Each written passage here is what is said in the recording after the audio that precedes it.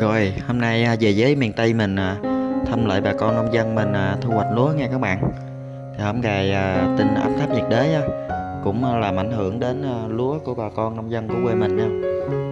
Hôm nay mưa quá không có bơm nước được nên nước bữa nay trên đồng khá là nhiều. Vụ này là vụ hè thu nha các bạn. Nước giống như là vụ ba vậy đó. À, mùa này cũng là mùa bình bát chính ở quê mình nè các bạn ở quê mình à, có rất là nhiều bình bát chính mọc cọc theo cái bờ kinh luôn nha. Nói chung là ở đây không có ai ăn bình bát chính hết trơn à, để cho nó rụng rồi bỏ mà. Rồi trở lại với à, máy cắt của mấy anh em mình. Hôm nay à, về khu ruộng này thì mấy anh em mình có cặp máy văn ma. Một con là văn ma 850 với là một con là văn ma 82 cùng cắt cho cái khu đất này nha các bạn. À, lúa ở đây trồng là 5451 luôn nha các bạn ơi nói chung là năm nay thì cái màu lúa mấy bạn nhìn mấy bạn cũng biết rồi. Thì uh, sau khi thu hoạch á, thì mình cũng có hỏi với bác gái ở trong nhà. Thì uh, à, sản lượng năm nay đạt được uh, 13 15 bao trên một uh, công nha các bạn. Đó, dàn lúa chăm sóc rất là kỹ luôn không có một cọng lúa hai tầng với lại là không có cỏ mọc luôn các bạn. Nói chung là dàn lúa rất là ngon. Rồi bây giờ là không để tất cả các bạn chờ lâu nữa hãy đến video chi tiết để à, xem bà con mình thu hoạch ở đây như thế nào nha các bạn. Quá trời nước rồi phải lội à, cắt mấy cái kìa các bạn ơi. Rồi coi nè nước mà tưởng như là vụ ba luôn các bạn. Quá trời. Chú ông lội à, gần tới háng luôn. Bây giờ mình qua bên bển mình quay cặp máy cắt cho, cho mấy bạn xem nha các bạn. Nói à, lúa ở đây quá đẹp các bạn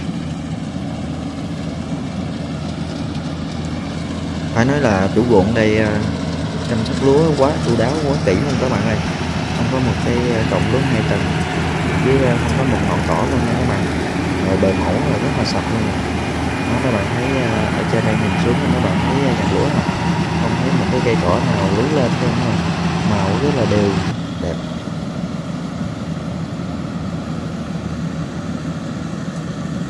Nước nổi lên bên hết trơn các bạn ơi nói chung là ở đây à, mấy anh em mình à, vừa cắt à, vừa sang lúa luôn. Mấy cậu lúc nào cũng à, cặp theo à, chiếc máy cắt gì đó các bạn. Để à, khi nào máy cắt đầy á, thì mấy anh em cậu lúa sẽ à, có nhiệm vụ là lấy lúa từ bên à, máy cắt qua máy cộ để à, đem vô bãi chất nha. Đó, máy cắt à, đi đến đâu thì mấy cậu sẽ kè kè theo tới đó các bạn ơi. À, nhiều lúa cái là mấy cậu à, xúm lại à, lấy à, rồi để cho nhẹ máy rồi mấy anh em dễ làm việc nha dù à, nước nổi liêu biêu vậy à, lúa vẫn à, ok nha các bạn. Màu lúa mình thấy là quá đạt luôn nè. Bao quá bao luôn rồi.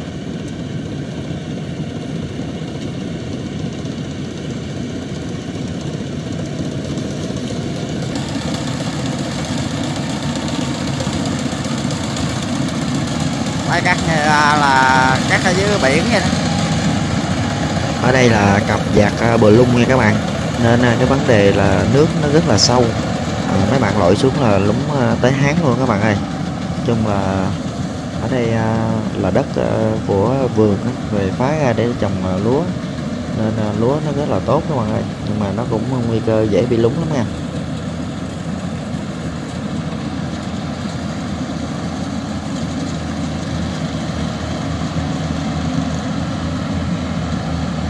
Máy cắt chạy dẹt nước luôn các bạn giờ hai chiếc này à, sẽ quần à, cái chỗ này xong xuôi là mấy anh em mình à, đẹp vô trong kia chắc các bạn ơi còn một lúng ở bờ bên kia nữa.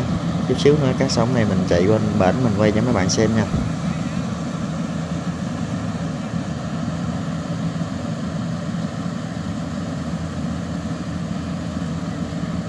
máy à, nhân ma mình à, nó đang à, cố gắng à, nó cắt ở cái khu này nha các bạn nước không à.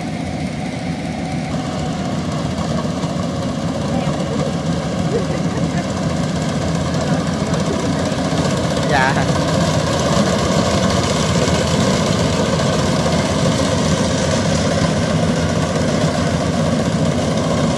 Ủa, quá tốt các bạn ơi nước rồi nè cắt à, như à, cắt lúa vụ ba vậy. Nó mấy bạn thấy chưa? Nước nó ngập ngập ngập ngập như là mấy bạn à, đang à, ở dưới sông vậy đó các bạn ơi.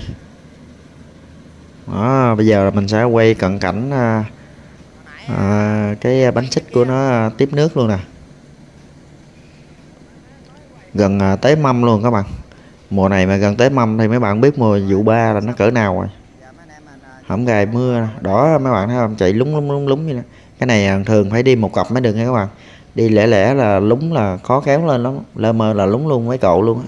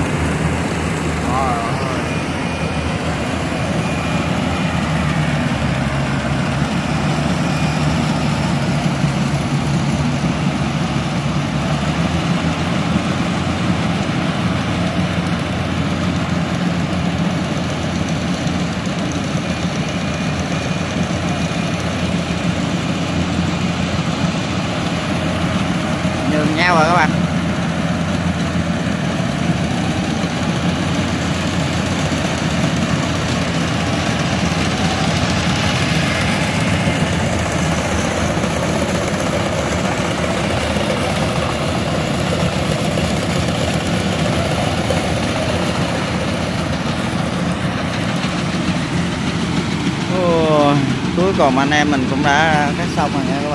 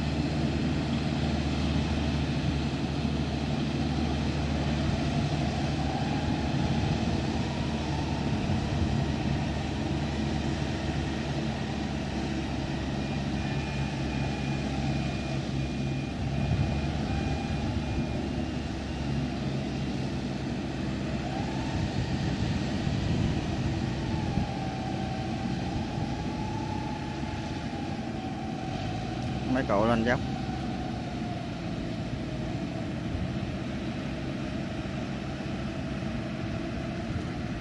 rồi, bây giờ là mấy anh em máy cắt ờ, cùng với mấy anh em máy cộ chở lúa xong rồi nghỉ luôn nha các bạn, xuống phà luôn. Thì ờ, đó là cái bãi ờ, mà đậu vỏ xà lan của mấy anh em mình ở dưới đó các bạn ơi. Giờ lên trên đó rồi vệ sinh máy xong xuôi là mấy anh em về luôn nha. Rồi mình kết thúc video tại đây nha các bạn.